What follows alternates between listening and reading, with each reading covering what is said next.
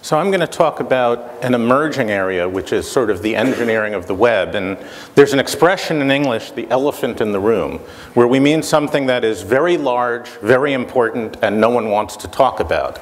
And I'm going to argue that in academia, the elephant in the room has been the World Wide Web. It has changed so much, and yet we know very little about it, and we need to learn how to engineer this thing. The web has changed all of our lives. In 20 years since it was first conceptualized by a physicist working at CERN, the web has gotten to where it has 1.2 billion users. That's 21% of humanity. It has changed the way we work, the way we play, etc. At a technical level, most people don't realize that the web has evolved significantly from the early days of how a browser worked to where the web is now how many information applications are developed. So understanding issues like privacy, security, accessibility will change how many, many applications work. We also have to think about the social impacts of the web.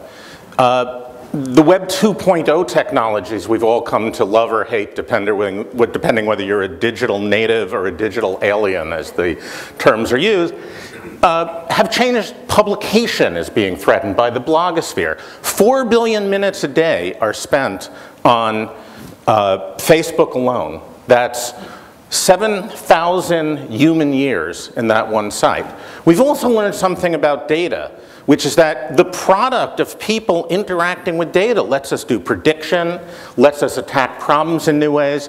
This is one of my favorite examples. The astronomers have a problem. They're doing a sky survey, and they have found many, many new galaxies, and they want to get them classified. And writing a computer program to classify galaxies is very hard.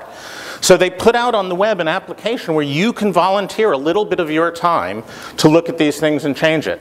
Hundreds of millions of galaxies have been uh, categorized by tens of thousands of volunteers. Big science, how do we exploit that? How can we make things work? How can we bring climate change and things like that to where we can attack it through this lots and lots of people giving us a little bit of time? How can we link all that kind of data together? One of the big innovations going on in the web now is a new generation of web technologies that are really related to data. They're aimed at pulling data sets together, going beyond the current notion of a single database as where data lives, and into a world where data will flow between applications and different ways ways. And a lot of what that's about is linking different kinds of data. Uh, one of the factoids I learned on my last trip to China was that the Great Wall was not a single engineering project. It was many, many walls that eventually were connected up. And the web grew that same way. And one of our questions is how do we exploit that? How do we understand that?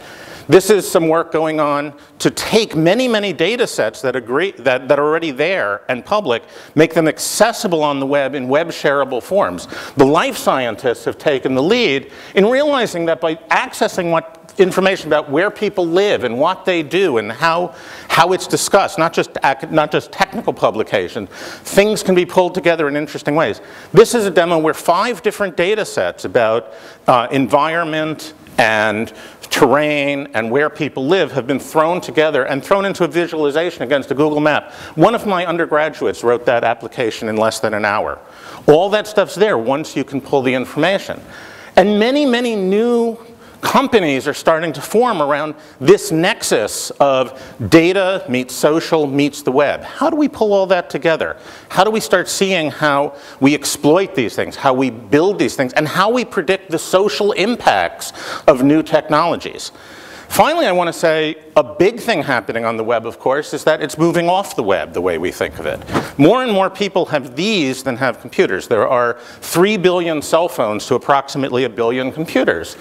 When you're using the web on your phone, you don't want to do a Google search. You don't want to type in a lot. You want somehow the information to find you, to be where you want. So how do we engineer not just the phone, but the information space so that we can exploit it, use it, and have it reach us wherever we are in this huge information network we call the future of the World Wide Web?